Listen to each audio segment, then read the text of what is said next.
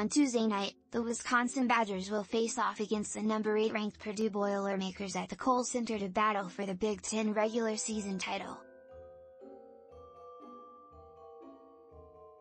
Related, previewing number 10 Wisconsin vs number 8 Purdue in their last meeting at Mackey Arena, Wisconsin guard Jonathan Davis had one of his best performances of the season finishing with 37 points.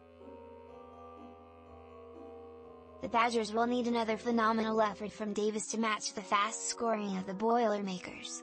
It should be an exciting game to watch between two of the best teams in the country, as Wisconsin will try to clinch their regular season Big Ten title where, Kohl Center in Madison, Wisconsin, when, Tuesday, March.